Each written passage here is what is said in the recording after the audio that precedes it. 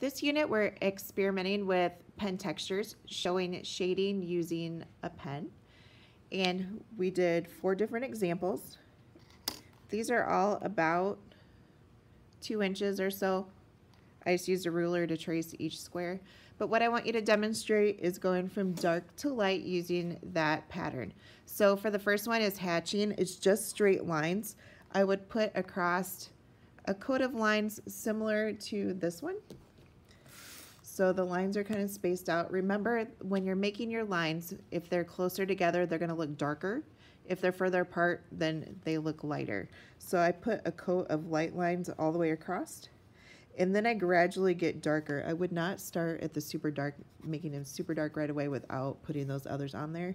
And as you look at all these, if you kind of squint your eyes while you're working, it'll give you an idea if you are doing a gradual shade or if it goes from really dark to really light fast, because that's not what we're after. We're after a gradual change. Cross hatching is going to be similar to the hatching, only you're adding lines in the opposite direction. I find for most people that's kind of what they uh, gravitate towards if they haven't really studied any uh, pen ink. This is one that I use a lot too. Same type of thing, line spaced out one direction and the other, and then gradually add in the darker. Scribbling or scumbling, similar to what we did with the doodling pages. Adding little tiny um, scribble marks across here and then gradually adding them till they get thicker. That one goes pretty quick. The stippling goes pretty slow. This is adding dots. When you add these dots, I would add it in a um, domino five pattern, so two and then one, so that you don't end up with a straight line. And it takes a really long time to get them really dark because you want to place them. You don't want to do it really quickly because if you do it quickly, you get the little, it almost looks like a comma instead of a dot. Um, so, and try to keep them next to each other instead of piled on top of each other. So this, we did spend a lot of time doing just this one.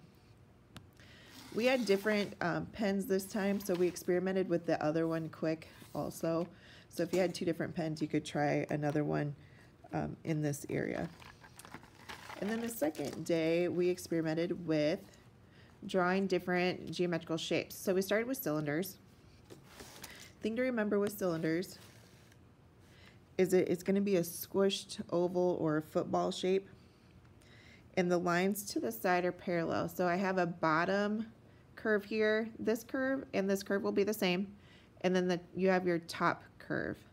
So trying to keep those the same. The sides are parallel unless you're trying to draw like a coffee mug or something like that. They're going to come in a little bit, obviously, but keeping those kind of the same.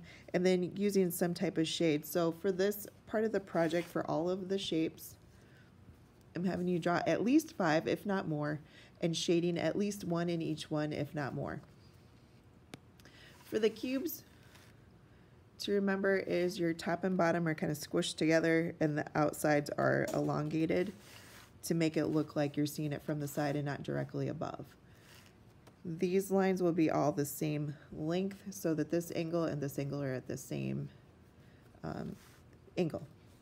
You can do different sizes, but you're shading at least one of them. For this, kind of, we, there's different ways to do it, but what we use as a guide is one side's really dark, the other side's a medium, the other side's a light, this way is your shadow. For the previous one, we did one side is darker, and then your shadows over here to light. If you're shading the inside of a cylinder, kind of keep that in mind that it's also curved if you're using a line pattern.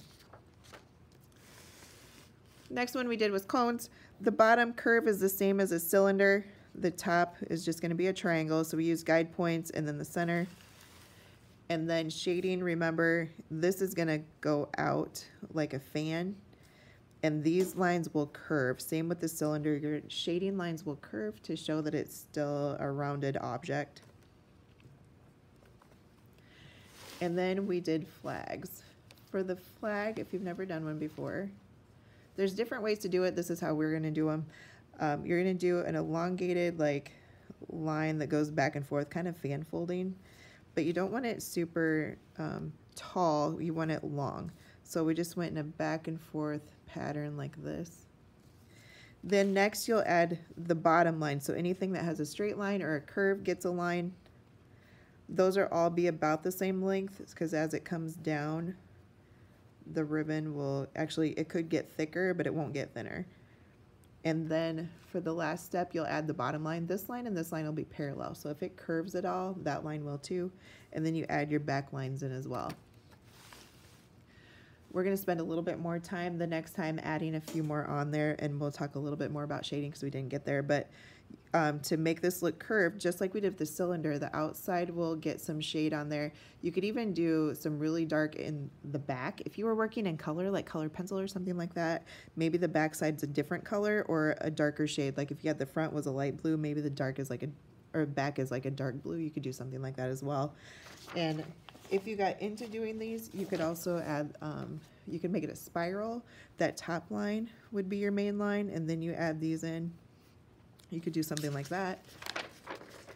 There's spirals in there, and this one also has examples of different ways to use the shading. No matter what you do, this one would be your top line.